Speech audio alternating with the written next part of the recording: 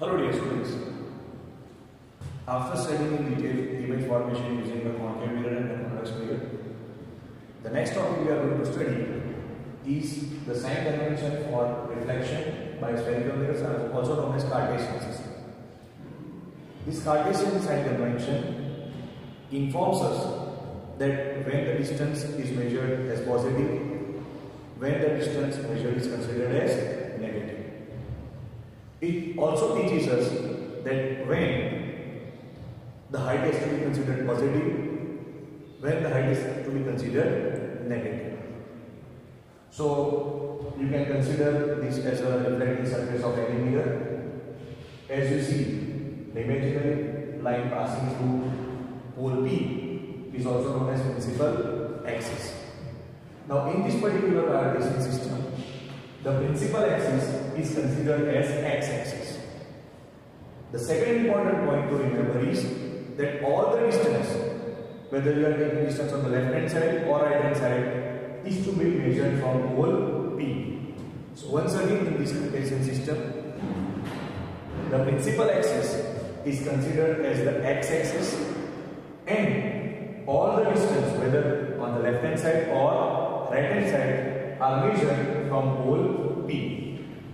Now as you have studied using graph paper that all the distance that are on the right hand side of pole P are considered to be positive.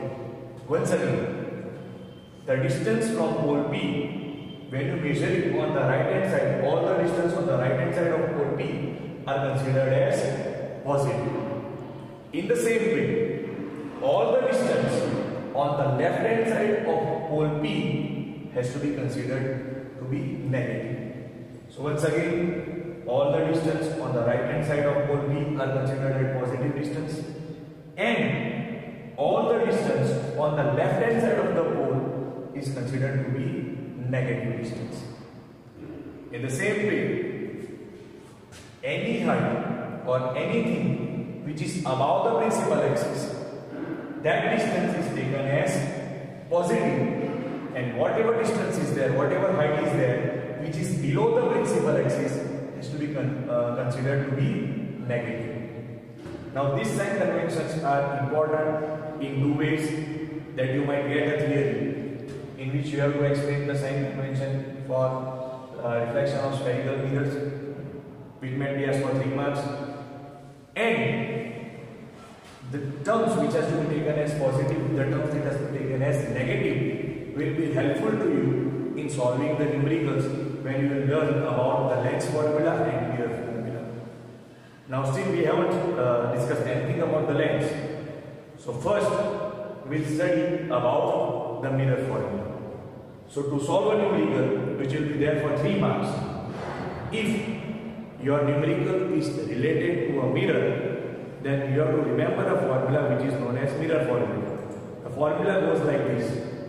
1 upon v plus 1 upon u is equal to 1 upon f. So once again, the formula which is famous as mirror formula goes like this. 1 upon v plus 1 upon u is equal to 1 upon f. Where u is the object distance, v is the image distance and f is the focal length of the mirror which might be a concave mirror or a convex mirror. So once again, whenever any numerical is there which is related to a mirror, we use mirror formula. Mirror formula gives us the relationship between three quantities that is u, v and f where u is your object distance, v is the image distance and f is the focal length. So for a particular mirror, let us say that the values of focal length and the object distance are given, you can easily find out the image distance. Using the formula 1 upon v plus 1 upon u is equal to 1 upon f. This particular formula is known as mirror formula where u is your object distance, v is your image distance and f is focal length. Now, another important thing to remember over here is that whether your mirror is convex or concave, the value of u will be always negative. Remember, value of u will be always negative. Why? Because according to the sign convention, object is always placed to the left hand side of the mirror. And in the sign convention, we have studied that when anything is placed on the left hand side of mirror, its distance is, uh, is considered to be negative. So thing to remember is that object distance u, its value will be always negative. V is image distance and F is the focal length. Now, this formula gives information about the image distance. But what about the nature of the image? That is whether it is magnified, whether it is real or inverted. So for that, we require to find out the magnification of image and the magnification of image can be found out using two different formulas. It depends on what data is given on your question. Depending on the data given in the question, you can either use formula 1 or formula 2. Both formula gives us the information about the magnification of image.